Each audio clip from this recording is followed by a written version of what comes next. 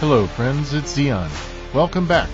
Today's quick tip is based on a request from a Verge 3D user that needed help getting started with a parametric model and in particular how to control it via an HTML form. This comes up frequently and with so many people developing configurators, this might help those wondering how to get started.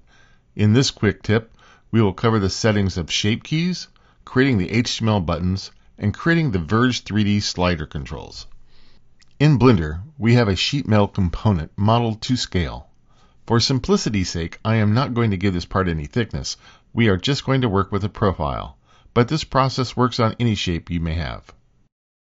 To create the shape keys, I'm going to duplicate the base model and move it along the y-axis.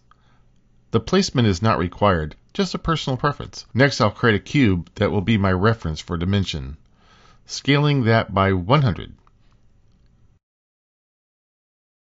Oh boy. Okay, that's way too big. I have to remember my default cube is 2 units wide. But nonetheless, in this case I need a cube that has a length of 100, so I will scale it by 50. I'm going to measure to double check I'm not crazy here. Okay, great. With a cube at 100 centimeters, I can move the cube so it snaps to the left-hand side of my shape key target.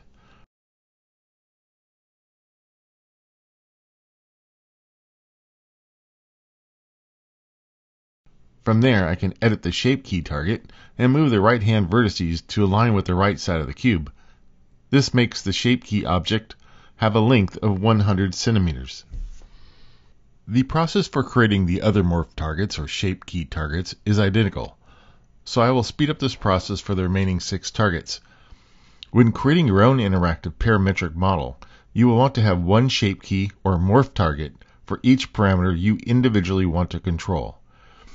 In this example, I started with the base object being 20 centimeters, so my length target needed to be 100, the other extreme. The base model has a height and width dimension of 20 centimeters, so each of their respective targets will have a dimension of 50.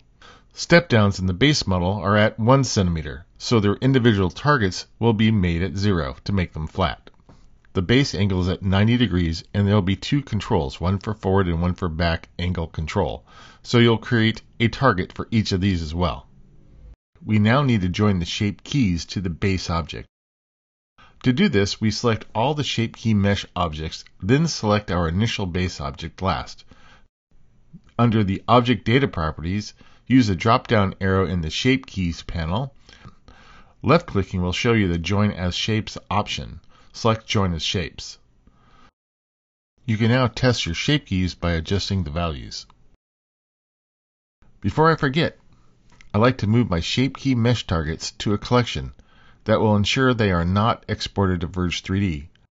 Be sure to go to the Render Properties, Verge 3D Settings, and uncheck your excluding collection that contains the shape key targets. Okay, I'm going to hide the shape key targets and uh, just for good measure, I'm going to test the shape key values for each particular shape key to make sure they work. And we do that by adjusting the slider value uh, for each shape key. Uh, after that, I will go ahead and start the renaming process. I'll speed that up. I want to name all my shape key targets something that I can use in Verge or at least easily recognize. I'm not going to go into the details of how to create or how to design a texture, but in this case, we're going to use a 1024 by 1024 texture. The most important thing to note is this is a 4 by 2 texture, and each texture cell is 512 by 256. Up next, we'll be going over slider menu modeling. In part two, you can find the video link uh, below, and we hope to see you there. If you can, like and subscribe, and we'll talk to you soon. Take care.